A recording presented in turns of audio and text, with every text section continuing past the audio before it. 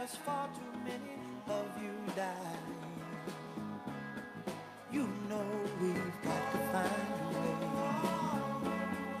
to bring some loving here today. Yeah. Father, Father. Good evening, good evening. Welcome to Law Talk with Attorney Douglas Oden. This show is about the law in its various forms. For your for the first time listeners, let me tell you a little bit about myself. I've been a practicing attorney for over 40 years. Uh, my law firm is the law office of Oden and Green. We're the oldest African American law firm in San Diego. I practice in the area of civil litigation, personal injury. My law partner, Alfred Green, who's a little bit under the weather, give him a shout out. Uh, he does bankruptcy law. Um, I'm a former president of the Earl B. Gilliam Bar Association. That's the African American Bar Association in San Diego. Former past president of the California Association of Black Lawyers, and a past president of the San Diego branch of the NAACP. So, welcome to the show. Uh, my guest tonight a good friend of mine, Doc Anthony Anderson III.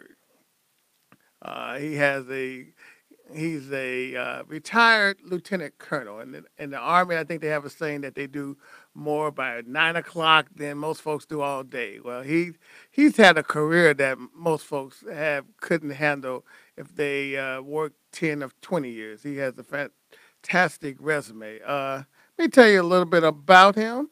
Uh, he is a graduate, has a bachelor's degree in science from the University of Albuquerque. University of Albuquerque. Okay, and he has an MA degree uh, from Troy State University, and uh, he has his doctorate degree from Western State University, now known as Thomas Jefferson School of Law. And as I indicated, he served his country and uh, rose to the ranks of lieutenant colonel. He retired as lieutenant colonel, and we thank him for his service. Now, instead of living on his laurels and c- colle- uh, collecting that nice fat military retirement, he decided to go to law school. Went after retirement, went to law school, graduated from law school, worked for some uh, local uh, firm in, in town before decided to go out on his own. He worked with the Urban League for a while, and now has a very successful law practice. Um, and a good dear friend of mine. Now, also, he is a former president of the Earl B. Gilliam Bar Association, not once, but twice. Uh, I don't know why he did it twice, but uh, we needed him, and he decided to do it twice. Uh, and uh, he's a real good friend of mine, and I welcome him to the show. Welcome, Doc. Thank you very much, Mr. Oden. Uh, Doug, I want to thank you very much for having me as a guest. Uh, it's, it's a privilege to sit next to you, being that you are so important to the city of San Diego. Uh, I got to mention one thing about my military career that most people don't mention. I demonstrated the uh, ability to dance. I am a former helicopter pilot, and I can still fly helicopters. So the next time you see anything flying around on the news with those dual helicopter blades, that's what I used to do, and I used to command units. So I take uh, pride and privilege in being a helicopter pilot. Right. Yeah, and we uh, thank you for doing that because most folks like me, we're not we're not be flying those helicopters, so that that's good. So yeah, welcome to the show. We're gonna have a good time tonight. We're gonna be talking about uh, one of the areas of his practice, which is administrative law, and we're gonna get into uh, that scenario. But before we get started, our first segment, as always, is you know what's going on, what's going on in the world today, and of course, our president up to his old tricks. He has decided to go to the mattress in terms of stonewalling Congress, in terms of not having anyone um, give up any information. He's telling his staff to defy subpoenas. Uh, the Attorney General, William Barr, uh, was subpoenaed by the House congressional uh, hearings, didn't show up. He, he he showed up at the Senate, but he didn't show up for the congressional hearing, and they just held him in contempt. Doc, what do you think about all that? I tell you what, it uh, my favorite president at this moment because he is my president uh, is Trump. Don't take me literally when I say that, but uh, he's put everybody in a bad position where he's uh, not only stonewalling, but he's trying to do this to protect himself for the election in 2020. He believes that if he get all of these things sent to the court, they will be delayed, and by the time they get around for him to be to run for 2020 election, no, everybody will forget because it appears that everybody forgets everything that Trump does. Yeah, and I don't know if that strategy is going to work. I think some of these federal judges are going to. They have that rocket docket. Sometimes they can move things along very quickly, where he might think they're going to be delayed. Uh, some of these judges are going to cut to the chase, move these cases to the top of the agenda. But one thing is good: it's full employment for attorneys. I mean, these and these guys back in D.C. they make big bucks. They make six, seven hundred dollars an hour, and uh, hopefully the taxpayers aren't on the hook for some of this. I think some of this is coming out of Mr. Trump's pockets, and we'll find out eventually how much money he does have. It looks like folks are trying to get his tax returns. Um, uh, I think the state of New York uh, has passed a bill mandating that he that he give up his tax returns. Uh, we've already got a glimpse of his uh, returns where he showed that he lost uh, 1.7 billion dollars over 10 years. And you know, how do you lose that running a casino? Well, I, I saw something on television this morning. Uh, he was playing roulette, and he bet on the green. That's how he lost. Yeah, I mean, uh, you know, any casino, if you can't make money running a casino, don't please don't call yourself a businessman. You know, so you know, every week it's it's kind of like a soap opera. We don't know what's going to happen from week to week, but it's, but uh, you know, the phrase this week is a constitutional crisis. You know, we're in a constitutional crisis because when one branch of the government just defies the other branch, you know, it's going to be up to the third branch, you know, to call the balls to strike. So it's going to be interesting to see how the judiciary uh, deals with Mr. Trump. And Trump believes that he has put enough judges uh, on the Supreme Court that he believes that those judges are going to rule in his favor. But I think he's got a surprise in store for himself because those judges were attorneys and judges before they became uh, a part of the Supreme Court. Right, and I think they have a, a sense of history too. I don't think they're just going to fall into lockstep on this because they they would they don't want their legacy to be uh, tarnished by going along with something that's clearly unconstitutional. And the last thing, uh, you know, in San Diego and around town, you know, there's been a proliferation of these motorized scooters. You know, I, every time you see these riding these birds, these lime folks, uh, now they're supposed to ride them on the street, but folks don't care. They ride them on the sidewalk, uh, they ride them on the beach, uh, and and they lay them down anywhere but everywhere. So now they're trying to you know regulate them a little bit, slow them down, because I mean I, I think a lot of folks don't realize how fast they're going, and you know you people riding around when you fall off a a, a scooter doing twenty or thirty miles an hour, eh, you can have a, a very bad outcome. If you notice, the uh, city is beginning to take action with those scooters. They are designating uh, specific parking places for those scooters, and they're paying close attention to the issue of liability related to those scooters. Right, you know the, the the scooter companies have these big disclaimers. You know, hey, if you fall, it's on you. But I think you know there's going to be some litigation. You know, as lawyers, we like to sue folks. So I think there's going to be a litigation depending on the right case where someone gets seriously injured, doesn't die, but gets seriously injured on one of those scooters. It might be a malfunction because you know sometimes you know you know who's going to keep up the maintenance on these on these birds, you know, uh, and I didn't say bird. That's just a, a generic example uh, of of uh, the scooters. But there's you know three or four companies out there. But you know, eh, who's going to do the maintenance on them? Who you know, if the brakes fail, and uh, you know someone goes flying, or you know that's going to cause some litigation. And until they get hit in the pocketbook, uh, there probably won't be too much done about them. And what we have to watch is the uh, waivers that the individual might sign when they sign up to use those uh, scooters. Um, I think that's going to be the big litigation thing to see if those waivers are uh, will uh, save the uh, owners of the scooters and not the operators. Right. They might end up, you know, violating public policy and it might invalidate uh, a particular part of that waiver. All right, well, hey, that's a good discussion. Uh, we're going to take a little break. We're going to come back and uh, talk about some administrative law with attorney Doc Anthony Anderson III. You are invited to the Rahima Pop Up Shop San Diego. Rahima is a Nigerian award winning designer with authentic and one of a kind clothing that will leave you speechless. We are so excited to come back to light up San Diego with authentic African clothing from the motherland. We will have a variety of dresses, skirts, jumpsuits, jackets, blouses, head wraps, and lots more. Sizes will be from small to 3XL. Get your free head wrap tutorials. Listen to authentic African music while you shop. We promise you an amazing shopping experience. RSVP for free and invite your family and friends. This event is kid friendly. We will accept cash, credit, and debit cards. Hope to see you there. Have you been in a car accident? Bill collectors hounding you? About to lose your house? Your car? If so, you need to contact the law offices of Oden and Green, San Diego's oldest African American law firm.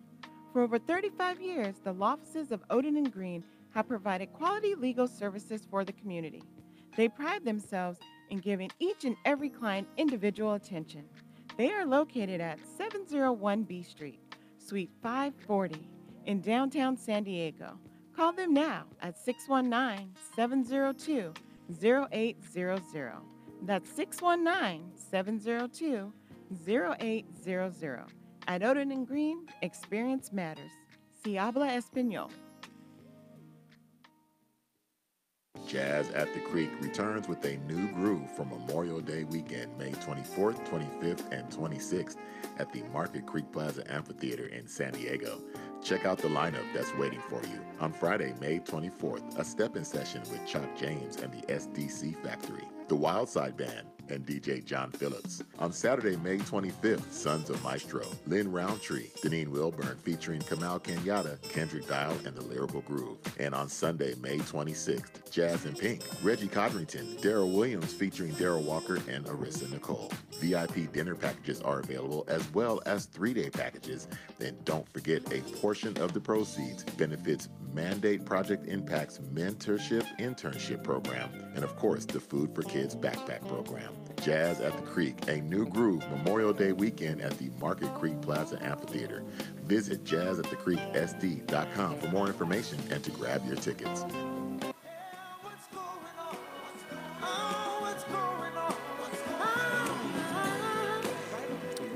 Welcome back to Law Talk with Attorney Douglas Oden. My guest tonight is uh, Attorney Doc Anthony Anderson III. Doc, uh, you you practice a lot in administrative law. I, I I've done that a little bit, but not as much as you. Uh, tell us about the differences between like administrative law and the regular judicial court. Well, I hate to say it's a misnomer. Uh, administrative law covers a, a whole gambit of uh, issues. Uh, for instance, first thing that comes to mind if you want to talk about administrative law, for the people who deals with getting license, licensing with the state, uh, if they got problems with those licenses, of course, they will deal with administrative law. Administrative law in itself is that you don't go before a judge, but you go before an administrative law judge or someone else that is uh, equivalent to administrative law judge that will make a decision related to your case. If you have a problem with your with your license, you go through a board associated with the California state. You present your case at a hearing uh, before an administrative law judge or its equivalent, or if you are a public employee, most of the things that you deal with with the, the city or federal agency deals with administrative law. In other words, you don't go directly before a judge and a jury to, to decide your case. Right. You don't have a judge or a jury, but you, you do have the due process. They they give you a notice, like you say. Let's say if you, because I've had clients who've had child care facilities and they've been accused of some type of violation, and they give them a notice. You know, we're going we're going to take your your child care license. So then they have to uh, appear before an administrative law judge to uh, hopefully convince them not to take the license. Right. Now, it's one thing I, I would like to tell your audience. What they need to do, whether they are a federal employee or they were uh, dealing with a license, they need to get to a document to read what are their rights before they come to an attorney. The employee handbook is the best thing that a federal, uh, a city, a public employee needs to take a look at first. Now, most employee handbooks are on the web, and they uh, assume that you have read it, and you will have an electronic signature saying that you have read it. So when it comes down to some type of litigation involving that uh, public uh, city employee, they automatically go to the things as required in the employee handbook. Right. And there are definitely steps that happen.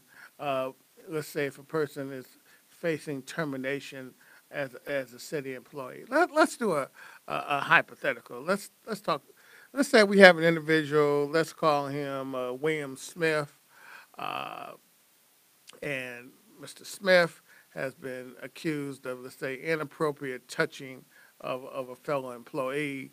And, and, and the city of Langston, not the city of San Diego, but the city of Langston, California, wherever that world is that, they want to terminate uh, Mr. Smith. Now, he, he received a notice saying, look, uh, you, uh, we've been accused, we've done our investigation, and we plan to terminate you. Now, if he, if he's a member of a employee association, what would be some of the steps that he would take once he gets that, that letter?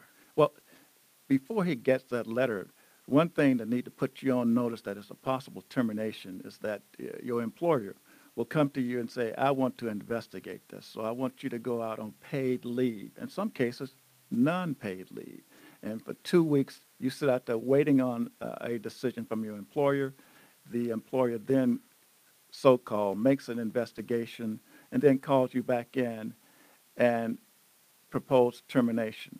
In some cases, they send you a notice saying, we are proposing termination, and you have so many days to reply. That is your cue then to get your attorney involved and don't do anything on your own. That proposed termination is critical because it identifies all the issues that later on that may arise in an appeal that you might need to know. And only an attorney will know the, the, the tricks of the trade when it comes to that notice of proposed termination. Right. Now, you mentioned a good point in terms of time. I always tell my clients that time is your worst enemy in law, that you cannot, you know, bury your head in the sand and think it's going to go away. If they tell you you got 10 days to file a written appeal, they didn't mean 11 days. They meant 10 days. If you try to file the appeal on day 11, then you just gave them an excuse to deny that. Yeah, correct. Uh, I'm, I'm handling a case right now that is it's over, but the uh, federal employee received notice of proposed termination. Uh, she had 10 days to reply. She came to me after five days, and then we had five days to reply to that notice of termination. The first thing I did was send out my notice of representation and requested that we get an extension on that 10 days. Make sure you get that extension in writing because if you don't get it in writing, like Doug says, that if it's come to the 11th day, you are out and there's no turning back. Now, is it, if you request an extension, how long do they have to reply? I mean, do they wait to day 11 and say, oh, nah, we decided not to give you an extension? No, if it's 10 days and they have not replied, you need to take action with before that 10th day to confirm an extension. If you don't, like I said, and you don't have it in writing, you lose your rights. But you can, can you file something like, like a boilerplate response just to toll that, that 10-day statute, and then maybe augment it if you don't have enough time to, to, you know, put a, a complete re- rebuttal to the proposed action? You can do it, but I find that it's not a good thing to do something boilerplate. Because like I said, once you get your uh, opposition into the notice of proposed termination, later on, when you have to do an appeal before the Merit System Protection Board, or uh, uh, any agency in Washington, D.C., they stick to those issues that was addressed in that response to the notice of proposed termination. Okay. All right, so let's say you you filed timely. and they conducted an investigation. Do you have the right to receive the uh, a report of their investigation? You don't get a, a copy of the report of investigation. When they send you the notice of proposed termination, it outlines everything that they have investigated related to that uh, notice of proposed termination. They also give you an opportunity to review all of the documents that they use to come up with that notice of proposed termination. So you and your client get an opportunity to review those documents and at the same time correlate those documents with the issues as addressed in the no- notice of proposed termination. So you do get some some discovery, some declarations. In other words, like in William Smith's hypothetical, let's say uh, uh, uh, an employee uh, or it says there's inappropriate touching, and that person made a statement, you would get you would have the right to get that statement and any other uh, evidence that might uh, corroborate uh, that the so-called victim's um, position. Well, see, uh, what I would say, uh, being that that's Douglas Oden who's defending that person, that is not a right, but the uh, Doug Oden would know that he needed this information to uh, effectively defend his client. So he will ask and he will demand that he get this information. And if the Doug Oden is a good attorney, and they know that Doug Oden eventually will file a lawsuit against them, so they would do everything to benefit the wishes of Doug Oden on the behalf of his uh, client. Okay. Now, let's talk about, you know, people when they go see an attorney, uh, obviously, uh, these type of cases may not be the type that um, generates a uh, any type of income for the client. So, are these type of cases w- would the attorney take it um, on the hour by the hour, like we call on the clock? Yes, uh, all those cases that come to me, I take it on the clock. I can't. I run a business, and I can't afford to take uh, clients who cannot participate by providing money to help me defend them. If you find a client that comes in and they expect for you to not only take any case on contingency, that is, you get a certain percentage of anything they might recover, they also want you to pay all of the associated costs. I am not like some of the big firms like Oden and Green, who might, most likely might have a big bank account who will take care of those uh, issues. I don't do that. So I ask my clients to come in on an hourly fee basis. Right. And a lot of times, I mean, there might be an attorney fee clause that might provide for fees if you were to prevail in the defense. I'm not sure. Sometimes they will, sometimes they don't. Uh, if it's a situation where, the, where there's no attorney fees, then then you know the only way you're going to get paid is for the client to pay you because there's no the government or the, the public agency is not going to pay you uh, even if you win. Correct. Now, you got to understand when you're talking about Mr. Smith, he's in the position where he has received a notice of proposed termination. There is no lawsuit filed. So you right don't, you don't have actually rights of discovery. Uh, you are there to protect that individual so that eventually, if a lawsuit is filed, all those issues are addressed in this notice and the response to the notice of proposed termination. The attorney fee provisions kick in after a lawsuit is filed. Oh, okay. So, so they, so the at the preliminary level, there, there's no attorney fee uh, remuneration for the for the uh, client. He has to pay. Correct. Okay. All right. Well, let's take a little break here. Uh, we'll come back and we'll talk a little bit about what happens uh, after he gets that notice of termination and there's a administrative hearing. You're with Law Talk with Attorney Douglas Oden. Problems, saving, Not enough. taxes, Too much. retirement, Will it happen? investments, Which ones are right for me? insurance. How will I build my legacy? At Allen Financial Advisement, we provide solutions to your problems. Allen Financial Advisement is a full service financial planning firm that offers financial help just where you need it. We can help make you smarter. Allen Financial Advisement provides financial advice with an educational emphasis. Get the answers by calling us at area code 858 964 2309 or visiting us on the web at ALLEN Financial, A-D-V-I-S-E-M-E-N-T.com. That's AllenFinancialAdvisement.com. We offer financial advice with an educational emphasis. Securities and investment advisory services offered through Woodbury Financial Services Inc., member FINRA, SIPC, and registered investment advisor Allen Financial Advisement and Woodbury Financial Services Inc. are not affiliated.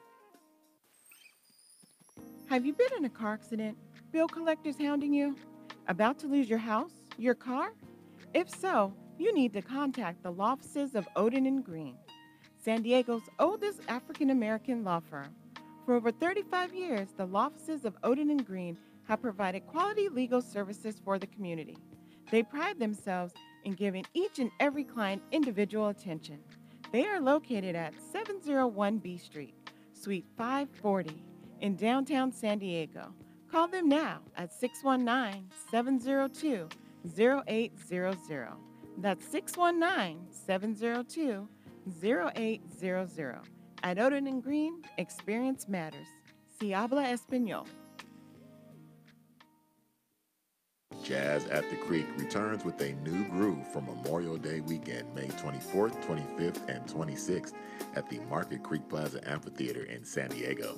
Check out the lineup that's waiting for you. On Friday, May 24th, a step-in session with Chuck James and the SDC Factory, the Wildside Band, and DJ John Phillips. On Saturday, May 25th, Sons of Maestro, Lynn Roundtree, Deneen Wilburn featuring Kamal Kenyatta, Kendrick Dial, and the Lyrical Groove. And on Sunday, May 26th, Jazz and Pink, Reggie Codrington, Daryl Williams featuring Daryl Walker, and Arissa Nicole. VIP dinner packages are available as well as three-day packages. And don't forget a portion of the proceeds benefits Mandate Project Impact's mentorship internship program, and of course, the Food for Kids backpack program. Jazz at the Creek, a new groove Memorial Day weekend at the Market Creek Plaza Amphitheater. Visit jazzatthecreeksd.com for more information and to grab your tickets.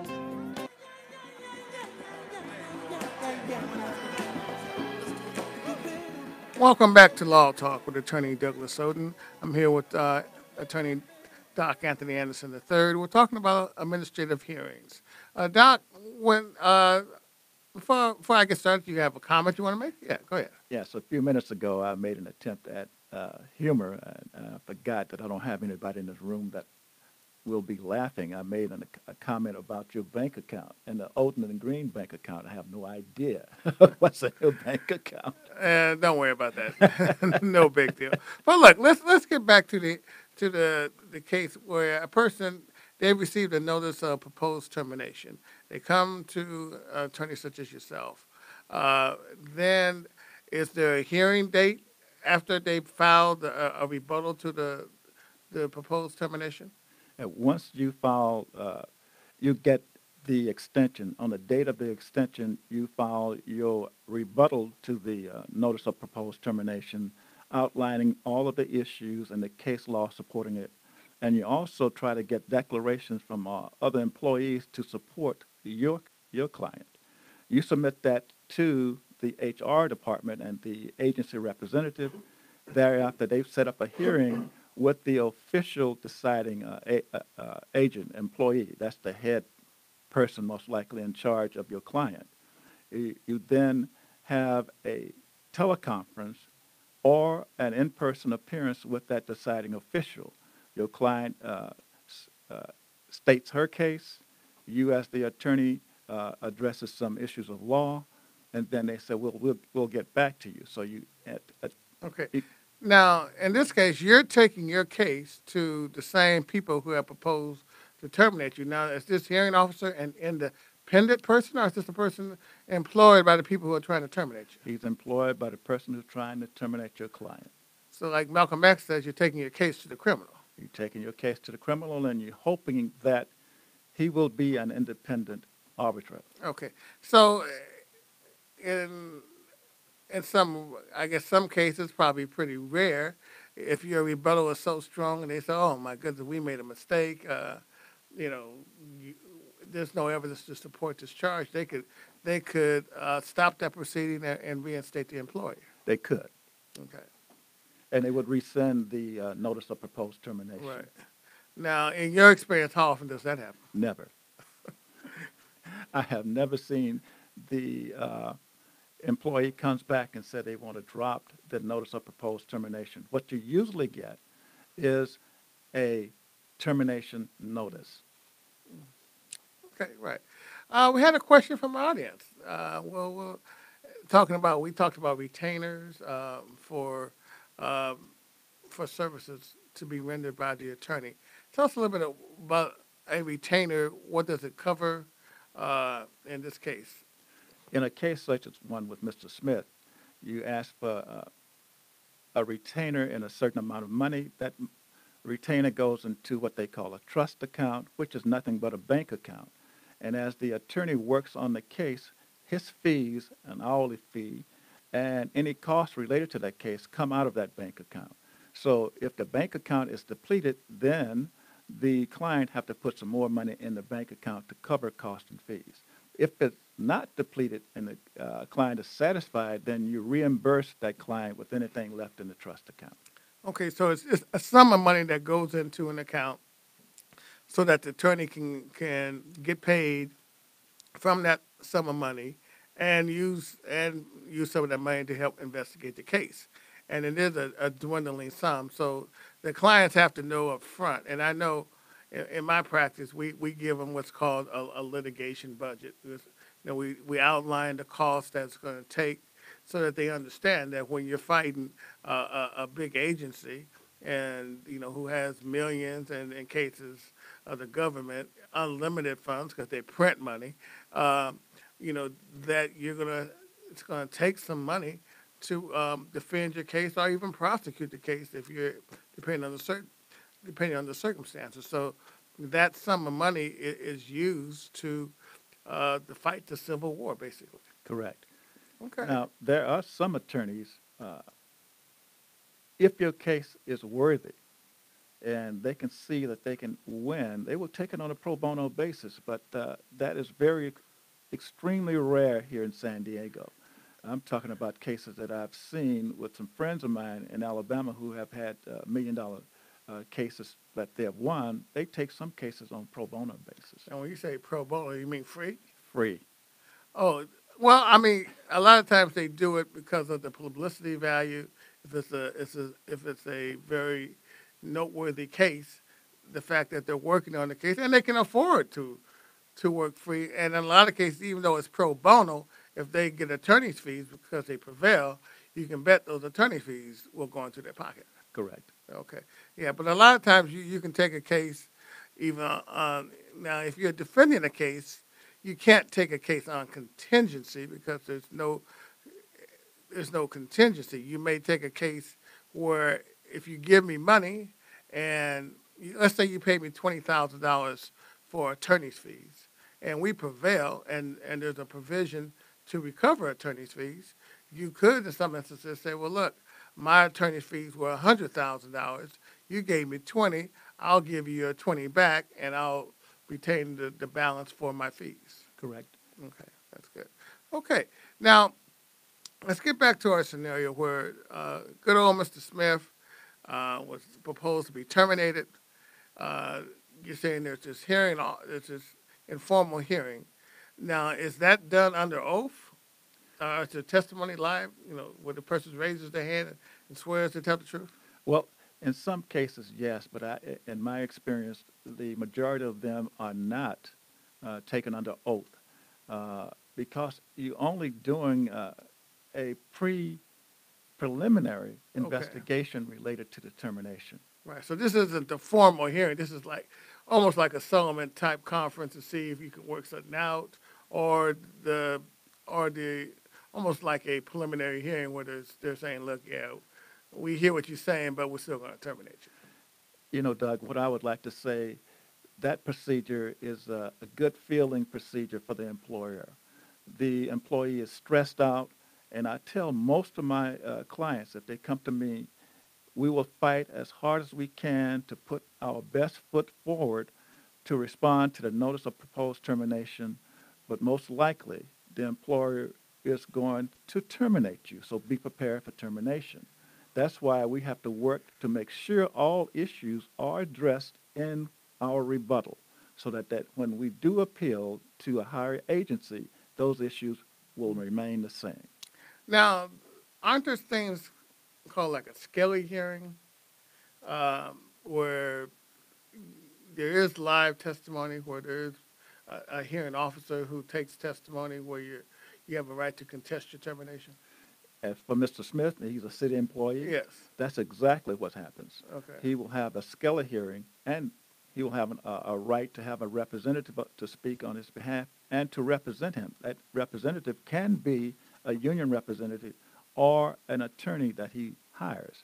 And he will appear at this Skelly hearing before an administrative law judge, and he will present evidence as if he was uh, in a small court. There's no jury, but he can present evidence at that particular time. And that happens for city employees. Right. now- So it- it's it's a it's a administrative trial, where you have the right to call witnesses. Correct, sir. You have the right to subpoena witnesses.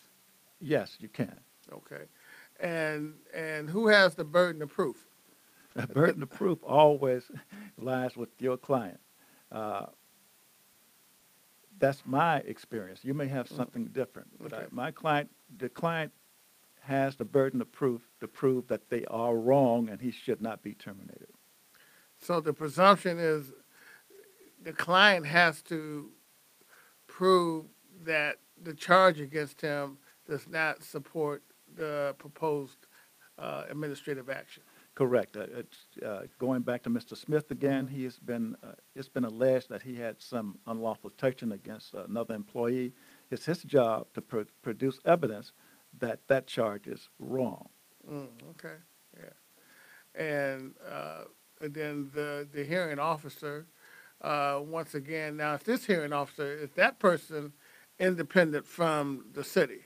That, that, uh, again, uh, it's an administrative law judge. He's not paid by your client. He's paid by the government. He's supposed to be an independent arbiter of those issues. Okay, but in this case, he wouldn't be a city employee. He would be an administrative law judge hired by the state, Correct, sir. AJA, okay. There's one thing that you have to remember, though. At the Skelly hearing, uh, a lot of people get involved in Skelly hearings without an attorney, and the issues addressed at that Skelly hearing may come up later on to be tried as res judicata. In other words, they have had an opportunity to have a representation. They've had an opportunity to present witnesses. Those witnesses have uh, taken, uh, uh, presented their evidence under oath. And res judicata says that you can't do it again when you have a, a, a- a trial in another case. All right, let's talking all that Latin term, like, like you went to law school. yeah, yeah. So, the, you know, in other words, once the thing has been litigated, once that issue has been litigated and decided by a court, you can't go back and relitigate that same issue again because it's saying we've already decided. So that's that Latin phrase, res judicata. Sounds real, real good for you. All right. Well, look, let's take a break. We'll be back and we'll talk a little bit more about administrative hearings. Uh, you're with Attorney Douglas Oden on Law Talk. fried chicken and waffles, fish and chips, shrimp and hush puppies, red beans and rice, macaroni and cheese, collard greens, candy yams, cornbread, gumbo, sweet potato pie, red velvet cake, and peach cobbler. Are you hungry yet? Well, make your way on down to Louisiana famous fried chicken and waffles. It's a great taste to visit. Located at 2850 National Avenue in the city of San Diego. Stop by today and check out our daily specials, family value packs, and vegetarian options. Louisiana famous fried chicken and waffles is the place where you can also get JT Sweet Tea. Country made, country sweet. Now, family, if you like good southern food, go down today. Louisiana famous fried chicken and waffles. 2850 National Avenue in the city of San Diego. Louisiana famous fried chicken and waffles. It's a great taste to visit.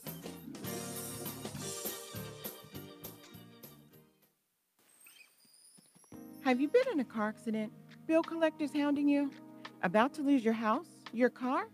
If so, you need to contact the law offices of Oden and Green, San Diego's oldest African American law firm. For over 35 years, the law offices of Oden and Green have provided quality legal services for the community. They pride themselves in giving each and every client individual attention. They are located at 701 B Street, Suite 540 in downtown San Diego. Call them now at 619 702 0800. That's 619 702 0800. At Oden and Green, experience matters. Si habla Jazz at the Creek returns with a new groove for Memorial Day weekend, May 24th, 25th, and 26th at the Market Creek Plaza Amphitheater in San Diego. Check out the lineup that's waiting for you. On Friday, May 24th, a step-in session with Chuck James and the SDC Factory, the Wildside Band, and DJ John Phillips. On Saturday, May 25th, Sons of Maestro, Lynn Roundtree, Deneen Wilburn featuring Kamal Kenyatta, Kendrick Dial, and the Lyrical Groove. And on Sunday, May 26th, Jazz and Pink, Reggie Codrington, Daryl Williams featuring Daryl Walker and Arissa Nicole. VIP dinner packages are available as well as three-day packages. And don't forget a portion of the proceeds benefits Mandate Project Impact's mentorship internship program, and of course, the Food for Kids backpack program. Jazz at the Creek, a new groove Memorial Day weekend at the Market Creek Plaza Amphitheater. Visit jazzatthecreeksd.com for more information and to grab your tickets.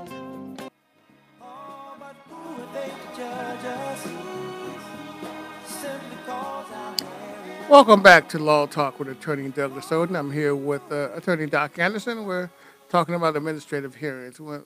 Before the break, we talked about uh, the, the Skelly hearing and the opportunity to present witnesses. Now, let's say you put on the hearing. Uh, the, does the administrative law judge do they prepare a written decision? Yes, the administrative law judge prepares a written decision, and they, in that decision, they provide case law that supports that decision. Okay. Now, how about what happens if you're on the losing side of that decision? What, what's your next step? Well, that depends uh, on what federal agency. Most agencies will allow you to appeal. Uh, When you appeal, you appeal your decision to either the Merit System Protection Board or some other agency in Washington uh, that deals with uh, civil rights. Okay, but we're talking about the, the state of, uh, the city of Langston. I, I'm not, just- well, what happens that, the, do they have a right then to go to court? Or, or they, have- do they have a right to appeal to a court? Generally, they have to, uh, they can appeal to a higher agency. What that agency is, again, I, I, you have to take a look at the uh, rules related to that employment. Okay, So if you have a right to appeal to a higher agency, and I, I, I mentioned the Merit System Protection Board because most federal employees, if they lose at the level of the notice of proposed termination and they terminate it, then they appeal to the Merit System Protect- Protection Board. Now, internally with, say, that city employee, the first thing he's going to think about is that these guys are discriminating against me because of my termination. And there's so many things that happens uh, if you believe that you have been uh, terminated based upon discrimination. Rem- remember the issues that you have addressed in the Skelly hearing. Then you have to file another claim with internally with the EEO office, the Equal Employment Opportunity Office within the government, alleging discrimination, and that leads to an informal investigation, then to a formal investigation, and that goes to an appeal with probably the Merit System Protection Board.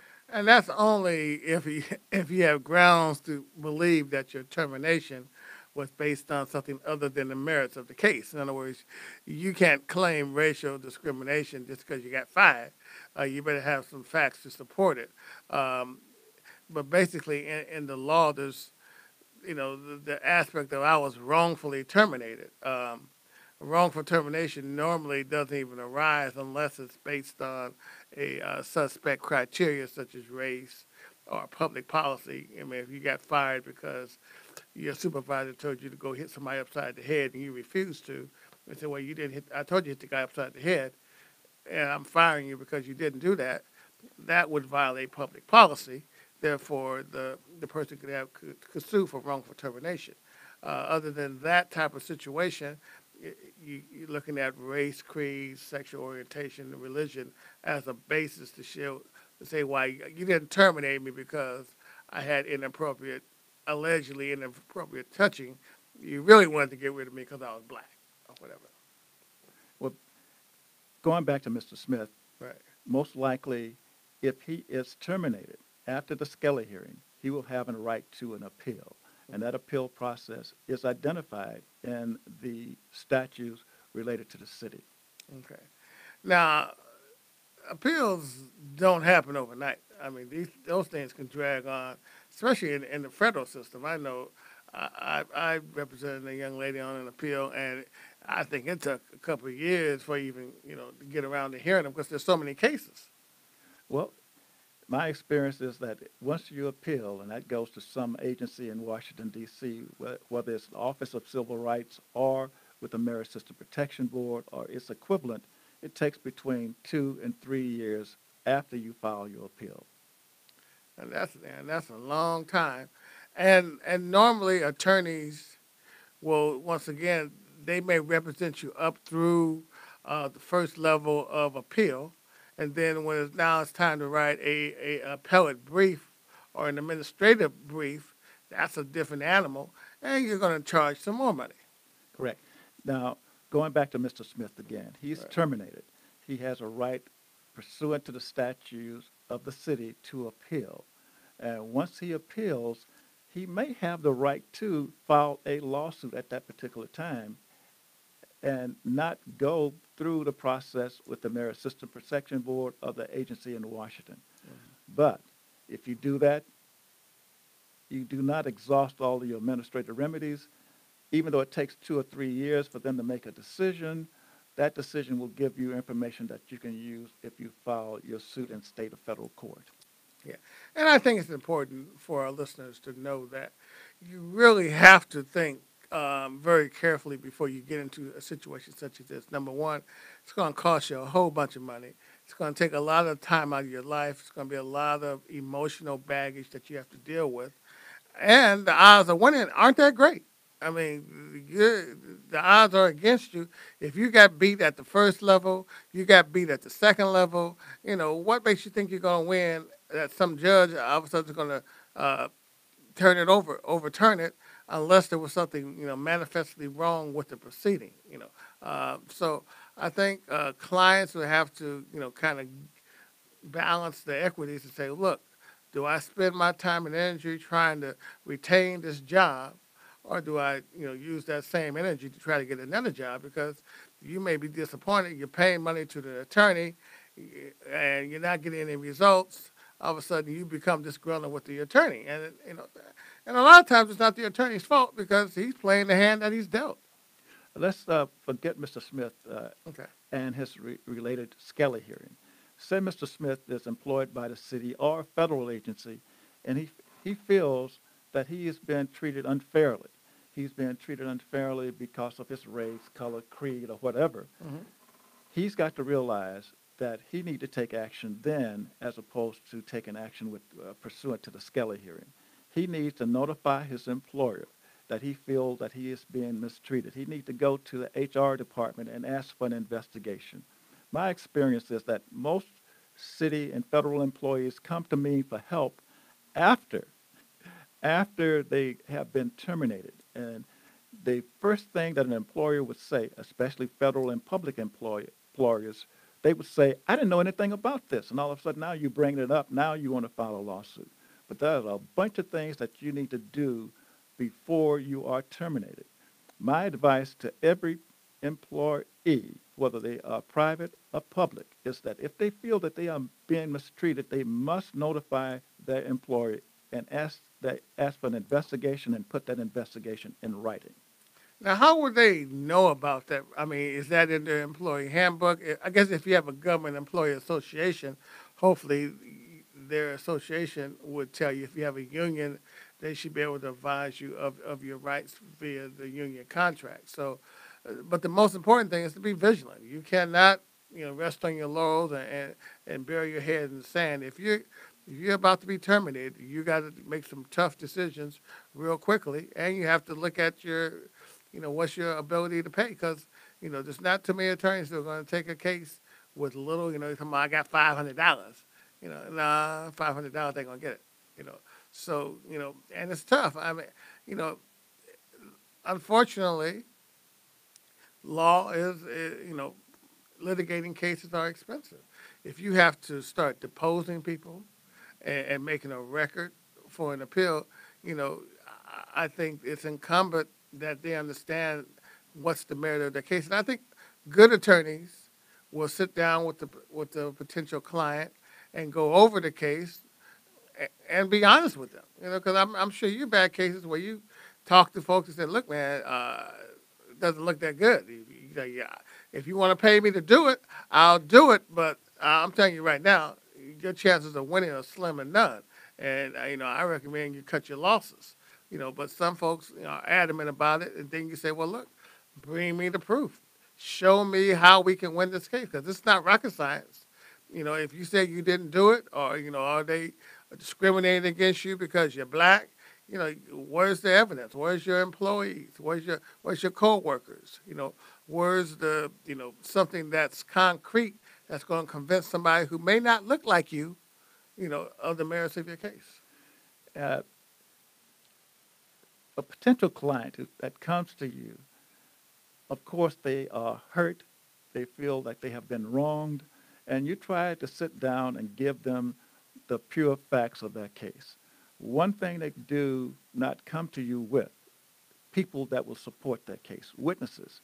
And nine out of 10 times, they can name about 15 people who are their friends who said, I can get them to come forward and testify on my behalf.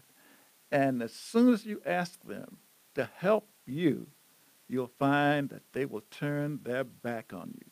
They, they get afraid in a second that they will be sitting in that attorney's office saying that I have been wrongfully terminated. So to prevent that, they say, I can't help you. I have taken people to trial. And after I get those people on the witness stand, they turn their backs on their clients at trial, Mm. even after I have uh, uh, sat down and tried to talk to them so they can defend my client. Okay. Yeah, that that's interesting, and so it's important that you know these these hearings and, and these type of matters are very tough. You win them every now and then. You know, I'm not saying you cannot win these type of cases, uh, depending on every every case is different, every fact pattern is different. But you know, uh, understand you are David, and you're fighting Goliath on steroids and Goliath has the has the presumption that they're going to win, and, and Goliath wins most of the time. So, but if you got that unique case, you know, and you and you're willing to fight and willing to to, to put up your your treasure to do it, you know, we say, well, ha- have at it.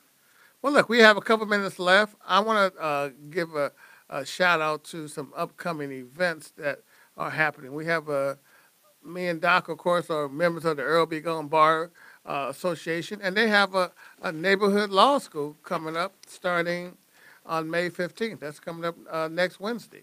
Um, it's probably the, they've been doing it for a number of years, uh, founded by a good buddy of mine, Randy Jones. Um, and what the neighborhood law school is, it's an opportunity for uh, people in the community to, at no cost, to come down and and listen to attorneys on various uh, issues and various topics in the law. Um, it's going to be at the Malcolm X Library. We all know where that is, 5148 Market Street on the corner of uh, Market and Euclid. Um, so, you know, right behind the Market and Euclid. Uh, the Malcolm X Library uh, starts at 6 o'clock. Uh, the first session is on May 15th and it's featuring immigration law. And on the 22nd, they're having an employment law uh, session with, uh, with some local attorneys in town. May 29th, they're doing landlord tenant. Um, and then in June, they're having a gang documentation with uh, Genevieve Wright Jones, very prominent criminal defense attorney, works for the public defender's office. Um, and on June 12th, they're going to have Know Your Rights with a couple other fantastic attorneys, uh, Marcel Stewart and uh, Dante Wyatt. And finally, on May 19th, they're having a family law and dependency uh, session with the with the Honorable uh, Tisha Martin. Uh, so, if you can check it out, uh, go out and support this endeavor. You'll learn a lot about the law. I've I think I've taught at the neighborhood law school uh, a number of years. Doc, have, I think Doc, you've done a couple programs there too. Quite a few. Yeah, so it's it's a good thing for the community. Uh, learn a little bit more about the law. Um, Doc, in the final minutes we have, tell us a little bit about your practice. Uh, you know, where, where's your office located at? My office is located at 402 West Broadway, Suite 100, Suite 400, in the Emerald Plaza building, right next to the Hall of Justice. You can find out information about me at daandersonlaw.com. I'd like to repeat that, Delta Alpha Law, AndersonLaw.com. Is that Army tells- talk? you, if you want to, uh, I do uh, civil litigation, Mm-hmm. uh, administrative law, and personal injury. And I do some criminal work. It's in a misdemeanor, not the uh, serious stuff. I, I found out I'm not like Doug Oden. I do not have uh, the blood pressure to do serious criminal matters. Well, well, very good. All right. Well, thank you for that, Doc. And we have some uh, exciting news about the show, um, Law Talk. Um, we're going to be uh, changing the format a little bit. Coming up in June, we're going to expand to two hours. I'm bringing on a co-host, uh, Mr. Michael Allen of, of Allen Financial Advisors. He's going to be a co-host. So we're going to do a two-person show, and we're going to expand to two hours. And you'll have the opportunity to call in with your questions and stuff. We're going to have a lot of fun. So we're going to talk about business and law. Uh, and, and, you know, Michael is very uh, knowledgeable in the terms of business. And uh, we're going to continue to have uh, individuals on various topics of law. So uh, look forward to that. We'll start that in, in the first part of June. On the 24th, I think Mr. Allen's going to be taking my place. I'm going to be out of town, uh, traveling. Uh, so Michael Allen's going to be uh, sitting, pitch hitting for me on the 24th. We appreciate all you folks for coming out and listening to us. Uh, tell your friends to listen to us. Uh, we do it every other week at the beautiful station here on Clairemont Mesa Boulevard at Mandate Records. And please come out and support that jazz festival uh, coming up over Memorial Day weekend. If you have, if you don't have plans for Memorial Day weekend, uh, come on out to the uh, Mandate Record Jazz Festival. They do a fantastic job. My firm's been um, privileged to support the Jazz Festival as, as a sponsor, and and we think it's uh, Leonard Thompson does a fantastic job. He's he's a, a treasure to our community, and we we ask that you come out and support activities in the community. We, our community sometimes gets a lot of negative uh, uh, connotations, negative press, but uh, Jazz at the Creek is one of the beautiful things that go on every summer. Um, over the past years, it's been uh, in the uh, over various Saturdays and Sundays. Uh, I guess various Saturdays for probably eight years. There's a different format this year, so we think it's going to be a lot of fun. So come on out and support uh, Mandate Records and uh, and tune in next uh, week with Mi- with Michael Allen. Uh, he'll be pitch hitting on Law Talk. And thank you for listening tonight. This is Attorney Doug Oden, and you're listening to Law Talk.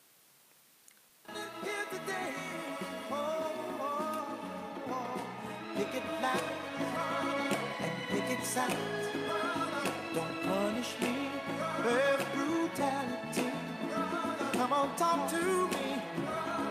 You can see what's going